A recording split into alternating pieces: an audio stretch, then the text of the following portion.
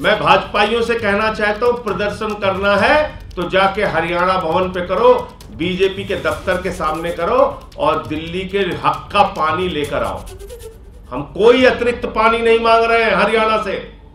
याद रखिएगा, मैं बार बार दोहरा रहा हूँ 28 लाख लोगों के बराबर पीने के पानी 100 एमजीडी पानी को हरियाणा की बीजेपी सरकार ने रोका है, हम वही पानी मांग रहे हैं।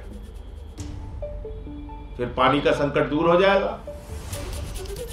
तो पानी का संकट खुद से प्रायोजित करते हो, प्रदर्शन करने का ड्रामा करते हो, इस काम में एलजी को भी शामिल करते हो, नायब सिंह सैनी को भी शामिल करते हो, प्रधानमंत्री नरेंद्र मोदी आँख पे पट्टी बाँध के बैठे हुए हैं धृतराष्ट्र की तरह, ये सब कुछ पूरी दिल्ली और पूरा देश देख रहा है। और एक मंत्री के तौर पर आतिशी जी ने लगातार प्रयास किया दिल्ली के लोगों के लिए। कहाँ कहाँ नहीं जाकर चक्कर काटा, कहाँ कहाँ नहीं जाकर गुहार लगाई।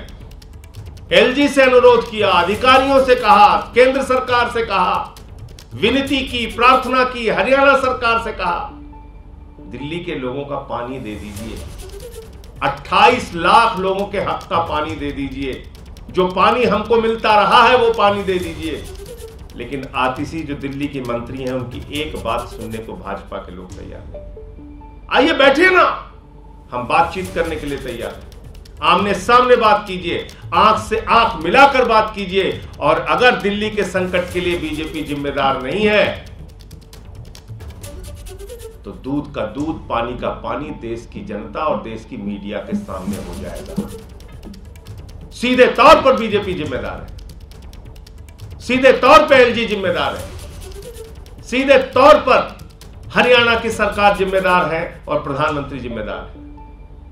आपने 28 लाख लोगों का पानी रोक दिया, उसके बाद यहाँ नौटंकी, ड्रामा, प्रदर्शन, घड़ा फोड़ो, मटका फोड़ो, पटका डाल के मटका फोड़ो, चल रहा है। और मजबूर होकर, पहली बार इतिहास में होगा जैसे ही घड़ी का काटा दोपहर ढाई पे आए, बबीता जी का दिल सास बहू साजिश के लिए मचल जाए। और ये है इनकी बहू। पूरे दिन ऑफ़िस की टेंशन हो जाए, गॉन।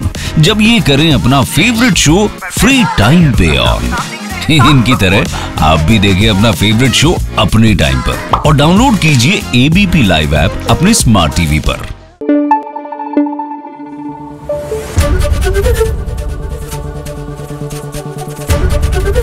ABP news.